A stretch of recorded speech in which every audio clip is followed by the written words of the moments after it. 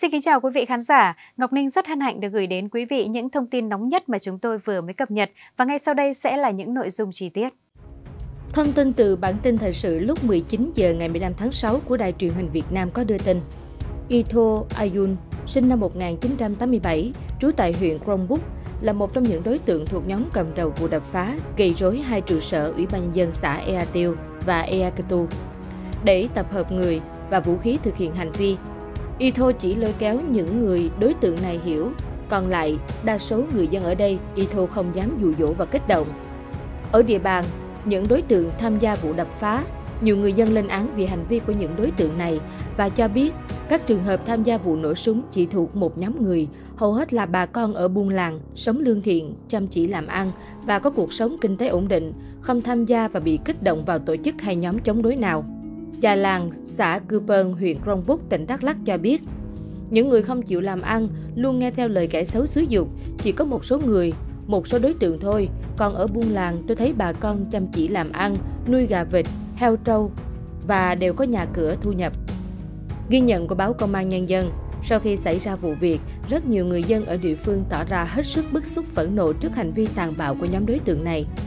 Anh Isun, sinh năm 1998, trú tại Buôn Ram, xã Ea Tiêu, huyện Cư Quyên, bức xúc cho biết anh vốn sinh ra và lớn lên tại vùng đất này, từ nhỏ đến giờ chưa bao giờ anh chứng kiến cảnh nhóm người liều lĩnh manh động tàn ác đến vậy. Anisum nói, không chỉ manh động tấn công sát hại người vô tội, mà chúng còn làm cuộc sống sinh hoạt của người dân. Chúng tôi bị đảo lộn. Hành vi gây ra tội ác của nhóm người này thật đáng lên án, cần xử lý thật nghiêm minh. Anh Hải Nie, xã Cư vân huyện Krông Búc, tỉnh Đắk Lắk cho hay, cá nhân tôi thấy bực lắm, Tôi không đi theo đâu. Theo làm chi? Mình lo làm ăn, chứ mắc gì mà bọn xấu dụ dỗ mình đi theo thì cực lắm. Mình phải lo cho vợ cho con. Còn chị Hờ sinh năm 1984, trú Buôn Ram, xã Ea Tiêu cũng cho rằng không thể hiểu được tại sao lại có nhóm người hành động liều lĩnh tàn ác đến như vậy. Cùng chung quan điểm, anh Denier, sinh năm 1977, trú Buôn Ram, xã Ea Tiêu cho rằng Hành động của nhóm đối tượng là đã mắc mưu kẻ xấu chống đối chính quyền nhằm phá hoại gây mất an ninh trật tự chống lại chính đồng bào mình. Theo Chủ tịch Ủy ban Nhân dân xã Ea Tu, huyện Cư Quyên, Nguyễn Kim May, những kẻ cầm đầu luôn tìm cách giấu mặt chắc chắn sẽ bị lôi ra ánh sáng và nghiêm trị theo quy định của pháp luật. Ông Mai nói, thực tế cho thấy nhiều đối tượng bị những kẻ cầm đầu dụ dỗ kích động, mua chuộc do thiếu hiểu biết, nhẹ dạ đã hùa theo tâm lý đám đông, tham gia vào các hành vi gây rối, đập phá, vi phạm pháp luật. Hành vi gây ra tội ác của nhóm đối tượng là đáng lên án. Qua đây, người dân cần nâng cao cảnh giác, không nghe, không theo lời dụ dỗ lôi kéo của kẻ xấu. Trao đổi về vụ việc trên, lãnh đạo Ủy ban nhân dân tỉnh Đắk Lắk khẳng định hành vi tấn công, gây rối, đập phá tài sản, giết người của nhóm đối tượng là vi phạm pháp luật, gây hậu quả đặc biệt nghiêm trọng. Lực lượng chức năng đang khẩn trương truy bắt, điều tra làm rõ xử lý nghiêm theo quy định. Đến nay, các đối tượng bị bắt giữ đều thừa nhận hành vi phạm tội nghiêm trọng của mình. Bộ Công an yêu cầu và kêu gọi các đối tượng đang lẫn trốn sớm ra đầu thú để được hưởng khoan hồng của pháp luật. Bộ Công an cũng khuyến cáo người dân cần hết sức cảnh giác trước các luận điệu xuyên tạc, thù địch và chủ động bảo đảm an toàn trong thời gian lực lượng chức năng tiếp tục truy bắt các đối tượng còn lẫn trốn.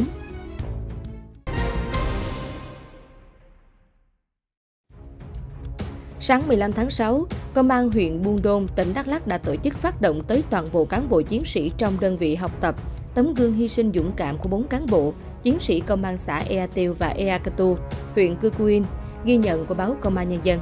Tại buổi phát động, đồng chí Thượng tá Đinh Quang Thành, trưởng công an huyện Buôn Đôn đã tóm tắt vụ việc ngày 11 tháng 6 và nêu gương hy sinh dũng cảm của bốn cán bộ chiến sĩ gồm Thiếu tá liệt sĩ Hoàng Trung, cán bộ công an xã Ea Katu, Thiếu tá liệt sĩ Trần Quốc Thắng, cán bộ công an xã Ea Tiêu, Đại úy liệt sĩ Hà Tuấn Anh, cán bộ công an xã Ea Tiêu và Đại úy liệt sĩ Nguyễn Đăng Nhân, cán bộ công an xã Ea Catu. Theo Thượng tá Thanh, thông qua việc học tập gương hy sinh dũng cảm của các liệt sĩ, mỗi cán bộ chiến sĩ công an huyện cần tiếp tục trau dồi, nâng cao bản lĩnh chính trị, phẩm chất đạo đức, ý chí chiến đấu, tinh thần trách nhiệm, không quản ngại khó khăn, gian khổ, hy sinh bảo vệ an ninh tổ quốc vì cuộc sống bình yên và hạnh phúc của nhân dân. Đẩy mạnh công tác tuyên truyền về những thành tích, chiến công của lực lượng công an nhân dân, kiên quyết đấu tranh, phản bác luận điệu xuyên tạc sai trái của các thế lực thù địch đối với công an nhân dân để nhân dân hiểu rõ, ủng hộ, giúp đỡ lực lượng công an trong sự nghiệp bảo vệ an ninh Tổ quốc, giữ gìn trật tự an toàn xã hội. Với tinh thần tương thân tương ái, nghĩa tình đồng chí, đồng đội, Tại buổi phát động, cán bộ chiến sĩ Công an huyện Buôn Đôn đã tổ chức quyên góp được số tiền 130 triệu đồng để ủng hộ gia đình, thân nhân bốn liệt sĩ và hai đồng chí bị thương đang điều trị tại bệnh viện.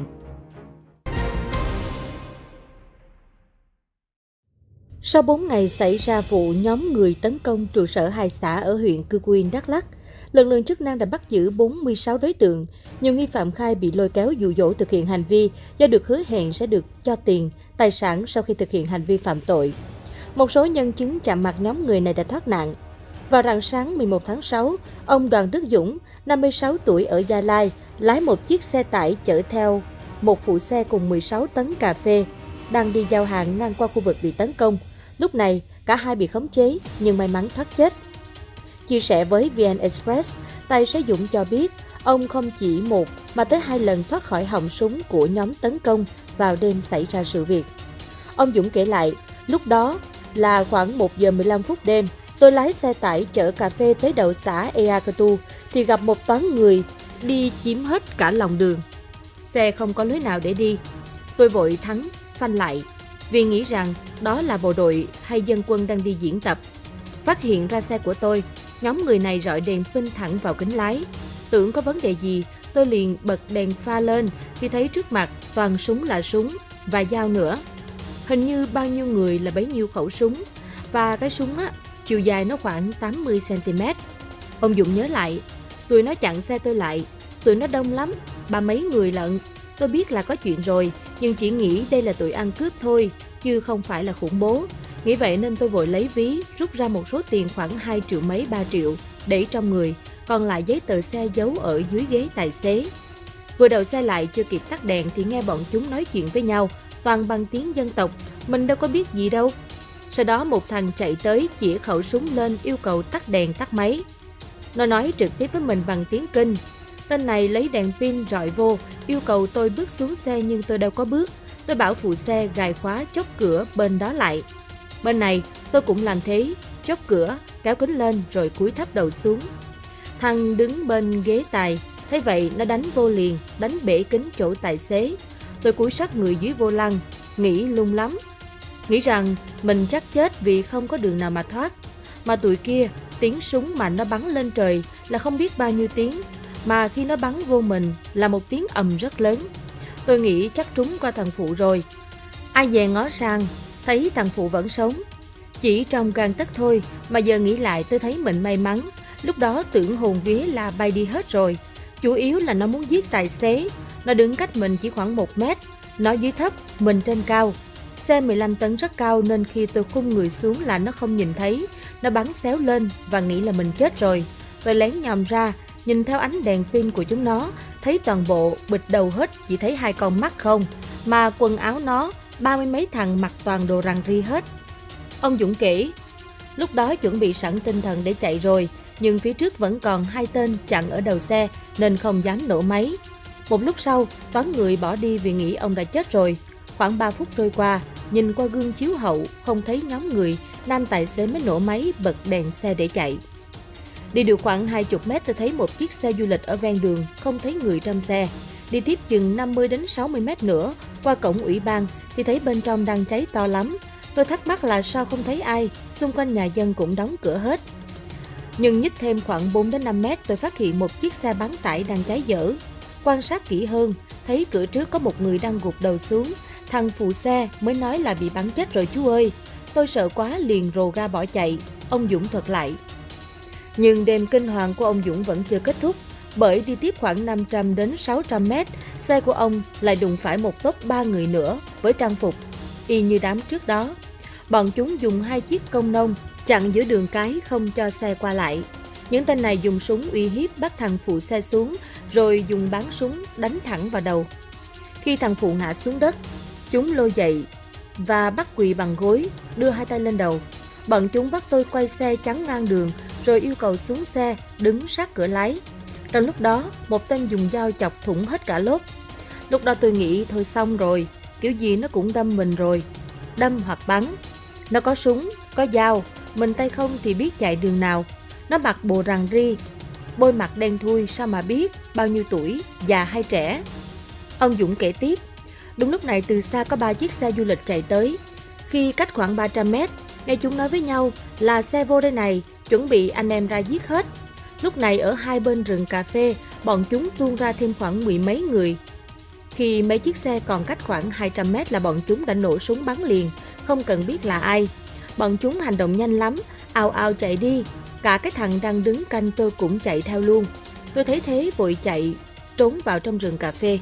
Một lúc sau, một thằng quay lại đứng trước đầu xe tôi, một thằng khác đưa cho nó hai cái chai, không biết là chai gì.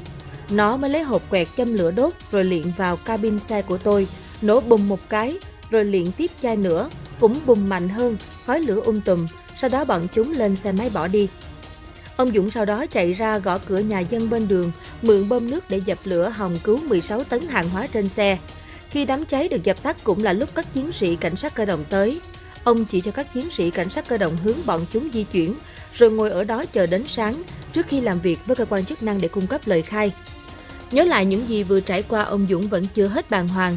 Nam tài xế cho rằng mình đã quá may mắn bởi nếu không có sự xuất hiện của ba chiếc xe du lịch thì có lẽ ông đã không còn sống để kể lại câu chuyện ly kỳ như phim hành động này.